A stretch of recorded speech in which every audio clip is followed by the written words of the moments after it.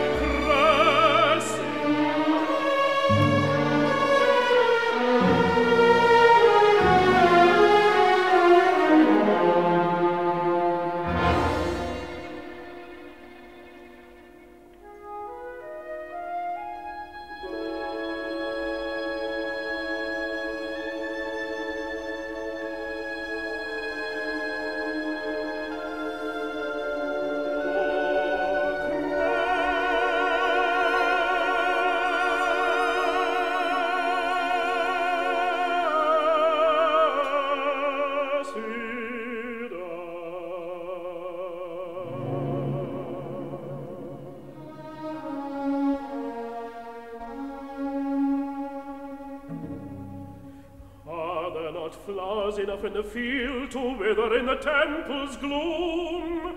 Why must you squander your lovely bloom?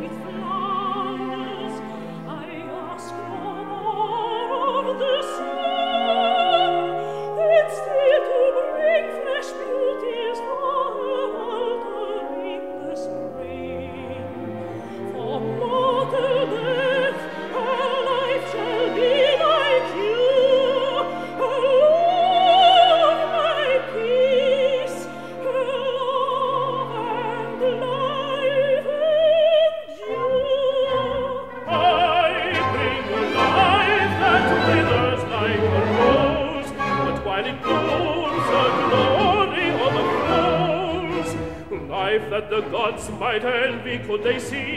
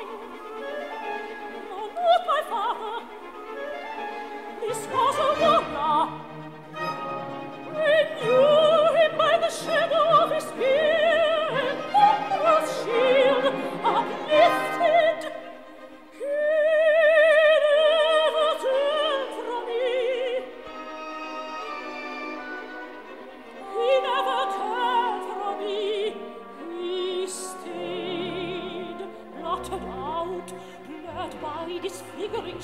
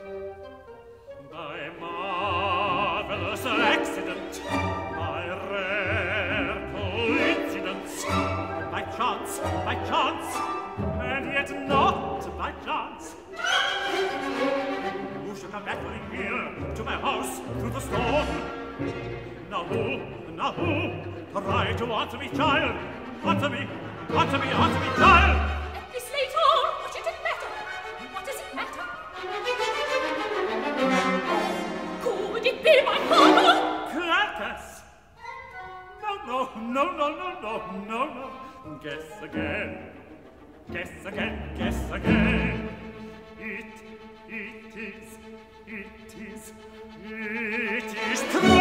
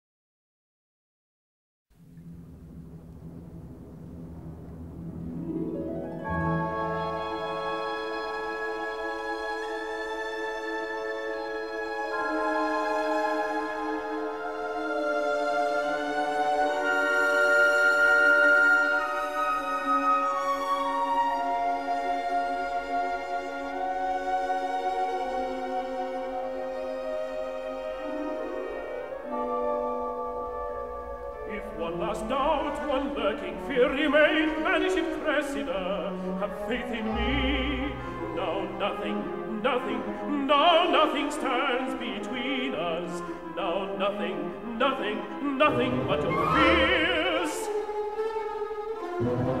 I cannot fight with shadows.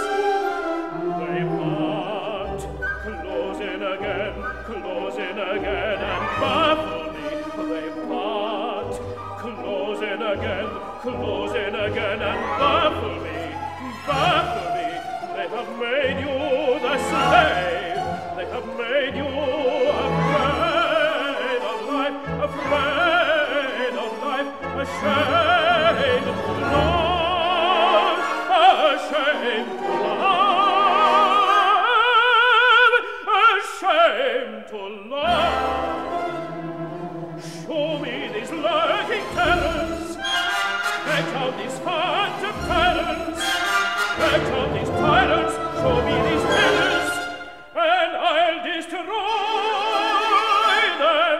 destroy them